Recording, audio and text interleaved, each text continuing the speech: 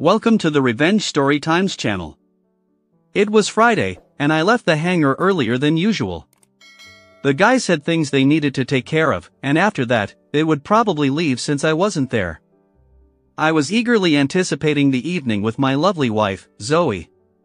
We had known each other for almost six years and had been married for three and a half. We were both 29. Our intimacy had been a bit slow lately, and over the past month or so, she seemed a little distracted.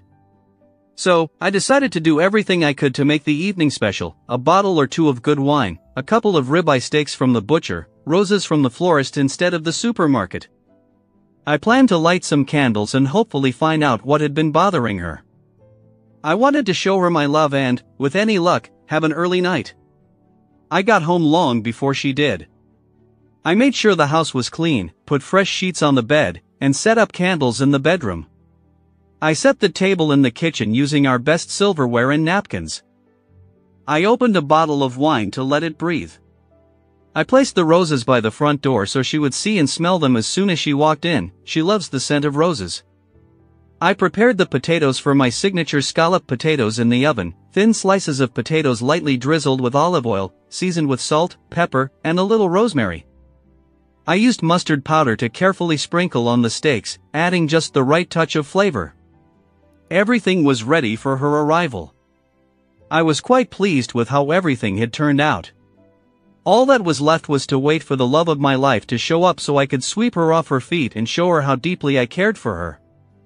I hoped this feeling would last the entire weekend. I heard the front door open just as I was laying out the potato slices on the baking tray, the oven was preheating. I heard Zoe call out to me, Richard, are you home? That's odd, I thought. My car was parked on the road in front of the house, and the roses by the door should have made it obvious I was here. I had just finished sprinkling the rosemary on the potatoes when I heard her say, Alright, we got here first. We can sit on the couch, when he walks in, it'll look better if we're sitting and he's standing. He won't be startled when we tell him. Tell me what? I asked, stepping into the living room, where I was met by a shocked Zoe and another man. At first glance, I knew who this man was. Zoe had been talking about him for the past couple of months. He was the new deputy head of HR, just over 180 centimeters tall, fit, blonde, handsome, and a little arrogant. I must have had a confused expression on my face. He wasn't taking things too seriously and just extended his hand. Hey, Dick, I'm Gerald. In a daze, I shook his hand. He had a firm grip, a very firm grip. He stopped just short of crushing my hand. What a jerk. I just stood there. He smiled at me. Zoe spoke up, Richard, we need to tell you something. Was he staying for dinner? I could defrost an extra steak, and Gerald would eat it, she continued. I'm going to spend the weekend with Gerald. It'll be just one weekend. I didn't see that coming. What? No. Gerald stepped forward. This will be good for you. I'm going to teach her things you can only dream of. You'll enjoy being with her more after this. It's only for one weekend, and she'll never do anything like this again. No, never. I started to snap out of my shock. If she does, I'll divorce her. Gerald walked right up to me, looked down at me, and said in a threatening voice, No, you won't. You can't stop me. Still in that same threatening tone, he said, No, I can't stop you, but I promise on the day you file for divorce, you. You'll have trouble walking. From that day on, your life will be filled with pain. The choice is yours. He stood next to Zoe and smiled at me. Then, he continued in a normal voice, she's going to spend the weekend with me, and I'm going to teach her a lot. She'll come back to you, and I'll never sleep with her again. She'll stay loyal to you after this weekend. He looked at Zoe. Right, sweetheart? What a joke, calling her sweetheart. I was stunned and had no idea what to do. Have you already been together? I accused them, assuming it from the way he called her sweetheart. No, we haven't. That would be cheating, Zoe exclaimed, and this isn't. I need a drink. I'll get you a beer, she offered. I growled at her, I think I can at least do that myself. Gerald placed his hand on her shoulder. Give him a minute, sweetheart. He's going to need time to process this. We've been talking about it for weeks, and we just dropped it on him in a few minutes. He needs time to realize that this is inevitable. He'll agree. They always do. It was clear he had done this before. I rushed to the kitchen. I had a feeling Zoe wanted to follow me, but he held her back. At that moment, it was probably a good idea on his part. And what was with him calling her sweetheart? That really infuriated me. What an idiot. When I got to the kitchen, I saw the open bottle of wine. I poured a glass and took a big gulp. No, wine wasn't the right drink for this situation. I stormed into the garage where I kept my beer fridge. I almost tore the door off its hinges when I opened it, grabbing a bottle of crafty old hen. I slammed the fridge door shut. What a couple of damn fools, I thought to myself. I looked around for a bottle opener but couldn't find one. It must have been in the kitchen. Damn it! I didn't want to go back inside until I had gathered my thoughts. I used alternative methods we learned in the army. I placed the edge of the bottle cap on a sharp corner of the workbench and gave it a strong hit from above. It worked back then, and it worked now. The cap flew off into the corner. I didn't pay attention to it. How was I going to deal with this?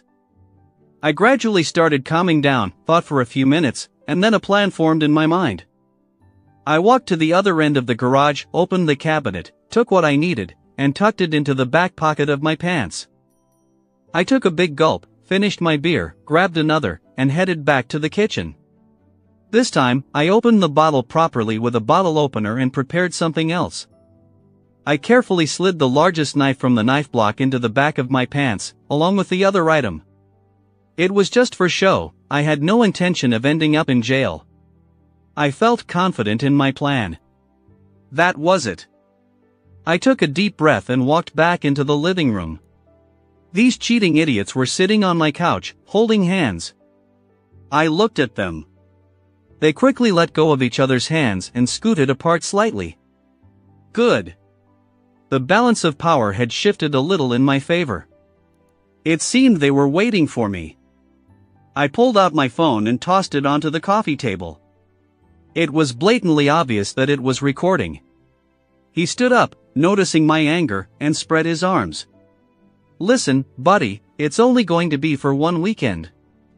That irritated me even more. A jerk like him would never be a buddy. He glanced at my phone.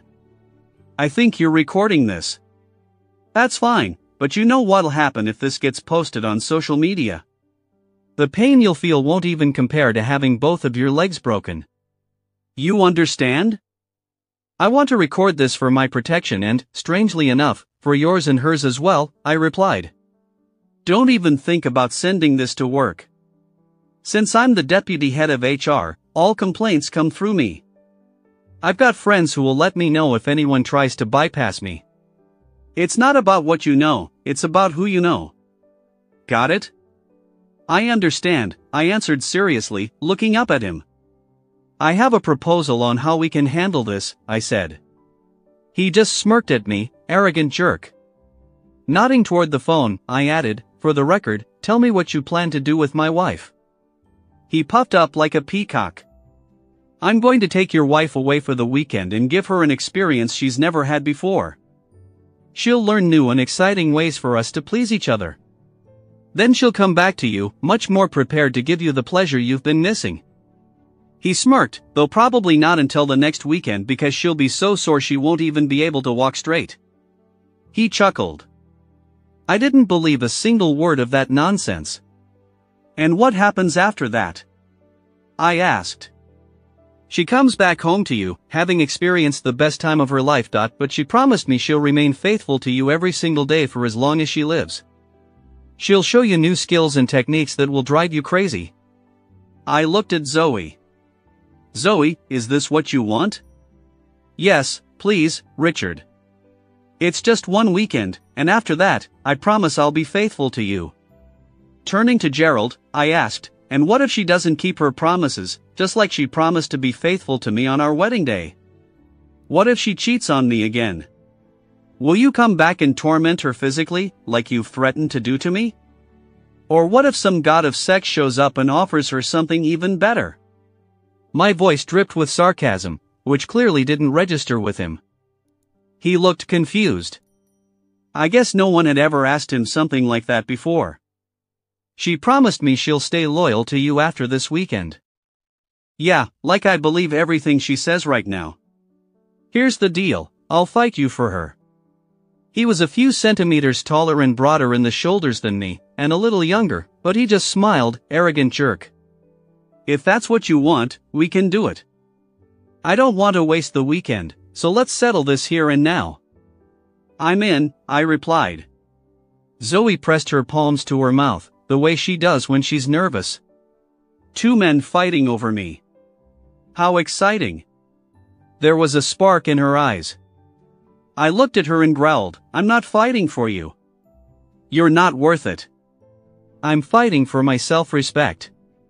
The spark in her eyes faded, and her face became serious. Turning to him, I said, If I win, you'll leave and never speak to her again, not even at work. If you win, you get to spend the weekend with her, and I won't divorce her.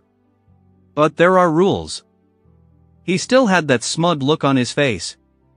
Alright, let's hear them. The first one to fall on his back loses. No knives, no weapons. Everything else is fair game, and whoever wins, no calling the police. Fine, no police. Do you have any knives? He smirked at me. At that, I pulled out a large, 30 centimeters butcher's knife from the waistband of my pants and placed it on the coffee table. His eyes widened. And I suppose you've got a gun too, he asked, still smirking. With a smile, I reached behind my back and pulled out an air pistol, an exact replica of a combat pistol. I don't know if he knows about guns, but that gun looked real, especially when I pulled it out. Now he wasn't quite as confident, but he didn't hide his arrogance. I'm going to beat the hell out of you before I put you on your back. Do your worst, you idiot. Just remember the three rules no knives, no weapons, and no police. I'm not stupid. I get it, you little punk. You'll pay for this. I might even keep her with me for the whole week. If you win, at least I'll respect myself for trying to defend my marriage.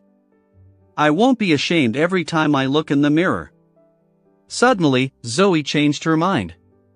She recognized my behavior and determination from the past. Things might not go the way she had planned. No, please stop. I've changed my mind, Richard. Don't do this, please. Gerald, leave now. I don't want this anymore. She realized that I was gaining the upper hand. I growled at her, too late, sweetheart. You started this with him weeks ago, and I'm going to finish it here and now, one way or another. Grab your phone and record it. She was crying. This was no longer in her control. I motioned toward the kitchen door. After you, I said to Gerald. He walked through the kitchen and headed toward the back door. I grabbed a few of my preparations. As soon as he stepped outside, I kicked him in the back, sending him face first into the flower bed. He scrambled to his feet and turned around, eyes blazing with anger. I just smiled and said, No rules. Not entirely true, but that didn't matter. The point was made, he was furious. Just what I wanted. The balance of power shifted even further in my favor.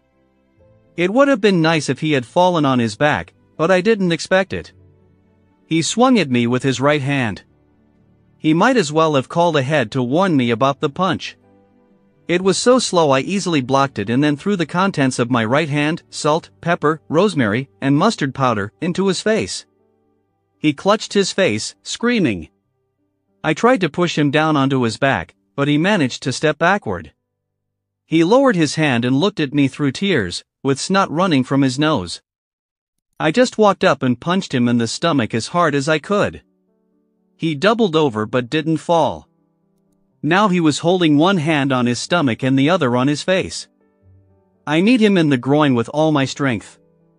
He collapsed onto his knees and started retching. He didn't have enough hands to hold everything that was hurting. I tried to push him onto his back, but he resisted, so I punched him hard in the face. He wobbled on his knees but still didn't fall onto his back. My right fist landed on his nose, and blood sprayed everywhere. Damn, that had to hurt. You don't see that kind of pain on TV. I slapped him across the face with my open hand. His head snapped back, and then I hit him with the back of my hand. That was a dumb move, and my hand hurt like hell. I leaned in close to him and quietly said, You can stop this. All you have to do is lie on your back. I raised my hand again. His knees buckled, and he collapsed onto his side, then rolled onto his back. The balance of power was fully in my favor. I glanced at Zoe. Tears were streaming down her cheeks. I couldn't tell why she was crying. Grabbing Gerald by the hair, I yanked him to his feet. I wasn't gentle. I opened the gate to our garden and told him, Remember this. You will never speak to her again, coward.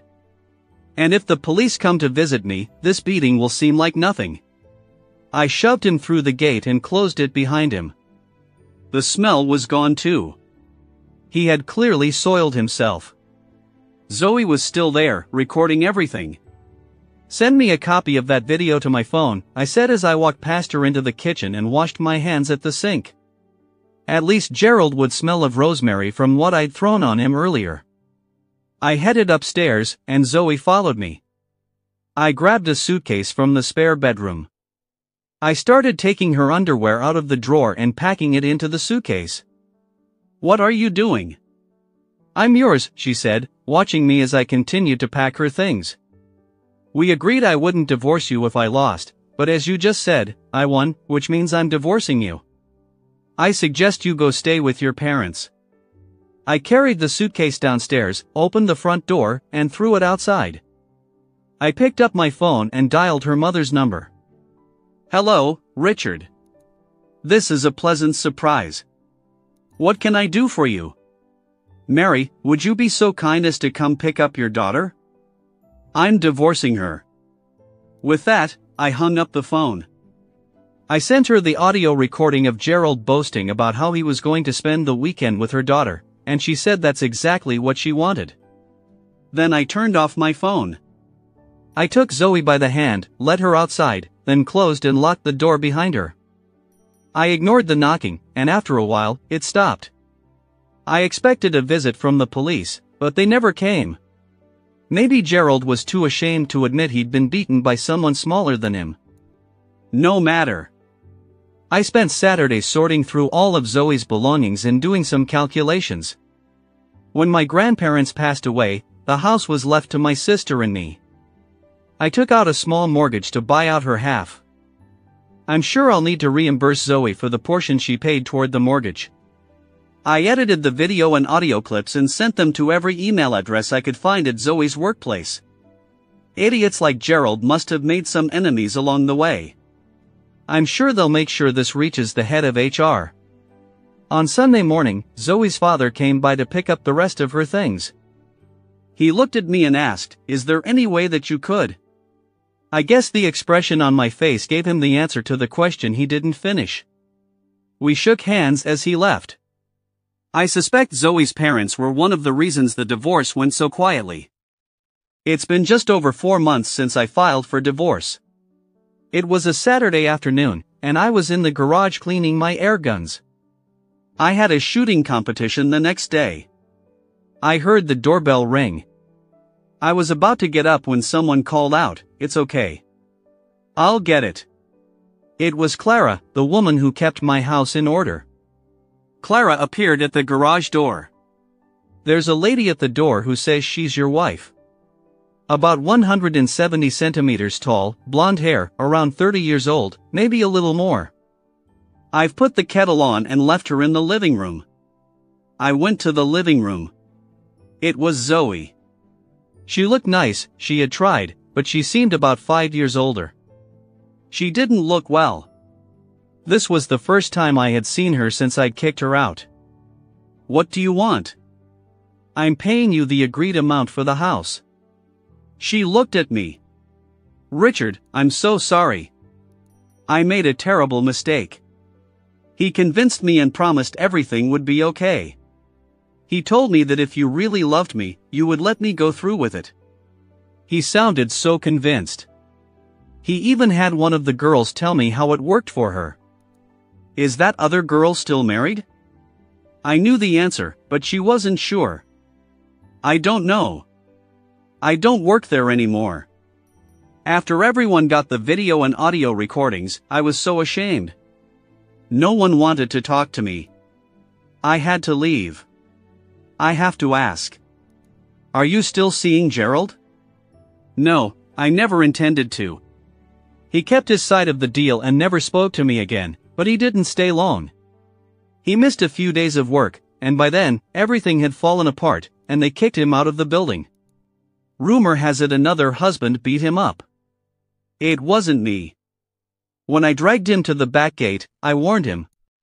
The police never showed up at my door, but I kept looking over my shoulder and stayed away from dark places. Serves him right. He's not a decent man, decent men don't sleep with other people's wives. Please, Richard, can we try again? I'll never do something so stupid again. Please. I really love you, and I thought it was for your own good, but I'm sorry, honey. It was a mistake, and I never should have done it. She pleaded with me. At that moment, Clara entered, carrying a tray with cups, saucers, a teapot, a milk jug, and some biscuits. Setting the tray down on the coffee table, she said, You might want to let it steep for a while. Then she disappeared back into the kitchen. Zoe watched her leave. Or have you already found someone to replace me? That's Clara. She cleans here once a week. She's a cleaner at our hangar. I work so much that I don't have time for it myself. I had to take out an extra mortgage just to pay you. So, is there any chance, please, Richard? I poured myself some tea and took a sip. It was weak, and I should have waited, just like Clara had suggested. It's been almost four months, and I haven't heard a word from you. You haven't contested the divorce. Why now? She looked down at her knees, embarrassed. I know I made a terrible mistake. I wanted to give you time. I hoped you'd miss me, and I had to gather the courage. My mom said that if you love me, you could give me another chance. Dad said I'm wasting my time, but I had to try. Richard, please. I took another sip of tea. Clara came in with a tray full of cleaning supplies and headed upstairs. I'm just going to tidy up upstairs. There's nothing in your bedroom I shouldn't see, right? She chuckled softly. Hope you've put away all your bondage gear. And with that, she ran upstairs without waiting for an answer. I looked at Zoe. That's her little joke. You know we never got into anything like that. Maybe we should have, but you never wanted to explore anything out of the ordinary, except with that idiot. Even doggy style was too much for you. Zoe looked at me, but I didn't answer her question. I was still angry with her, but I kept myself in check. What do you think? You blindsided me, telling me you wanted to spend the weekend with another man.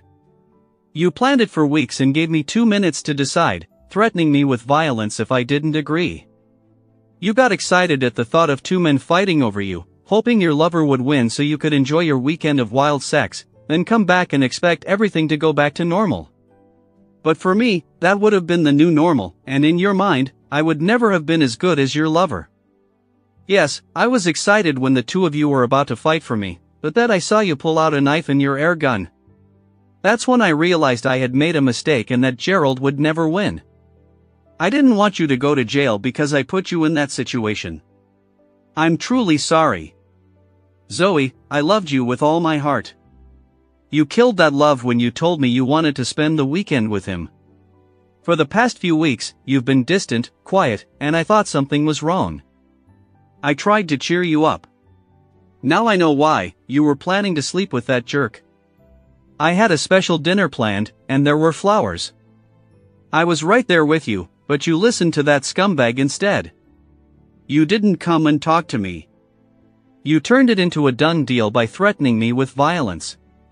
How can you do that to someone you claim to love? I'll never be able to trust you again.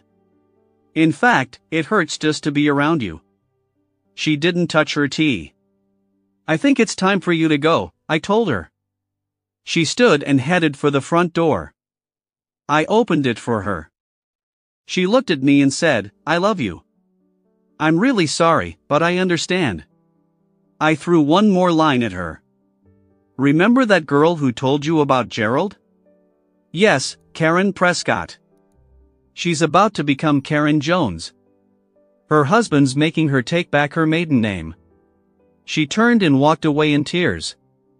I didn't watch where she went. I wondered how Clara was doing upstairs. I went up and saw that my bedroom door was open.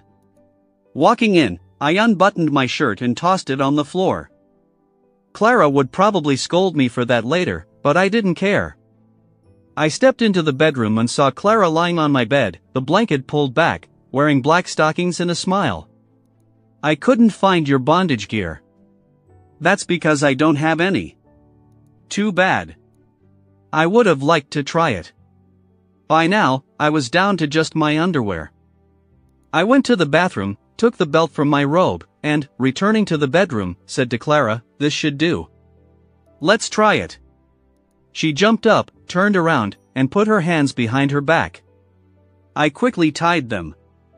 I laid her down on her back and slipped my head between her stocking-clad thighs. Almost an hour later, Clara was resting her head on my shoulder. One of her legs, still in the black stocking, was draped over mine. Looking up at me, she said, I should really thank Zoe, but I can't find it in my heart to be grateful for the pain she caused you. It'd be like thanking her for hurting you. She smiled. When your divorce is final, and I move in permanently, we'll have to try that tying up again. It was the first I'd heard about her moving in for good, but I didn't complain. As we were drifting off to sleep, I heard Clara say, I want to learn everything Zoe didn't. We fell into a peaceful sleep. Thank you for listening until the end. See you in the next episode of Revenge Story Times. Take care of yourself and your loved ones. Goodbye.